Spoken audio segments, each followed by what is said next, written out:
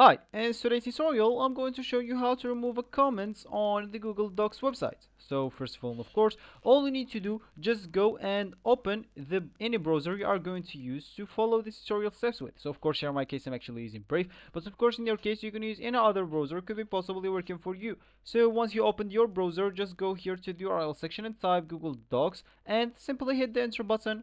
No need to write this and of course that will take you into this page course, once you are here, click at the first link, which will definitely take you into this page. Make sure to avoid any advertisement link or ad links. Uh, you will notice that by an AD uh, icon right on the left of the link. So of course just click on any of those. Once you click on it, it will take you into this page. Make sure if you are not at this page to go and look for another link unless you are at this page because it will be much better if you are already here.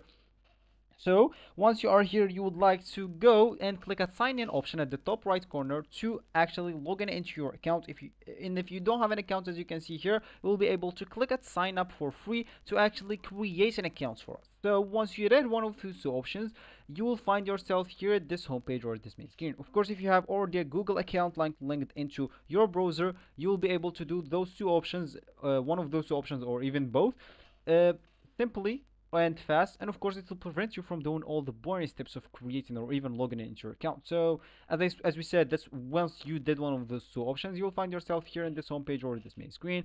And of course now you'd like to create a blank document. You can open some of recent documents or you can just choose here one of their templates right here. And of course they have a lot so let's just ignore that. I'm going to open a recent document which is actually empty. And now we would like to remove some comments. So first of all, I don't have any comments on this page or uh, on this document. So let me just add some comments. How can we do that? So first of all, you'll not be able to add any comments if you don't have if you have a blank pages here. So let me just add a random word here.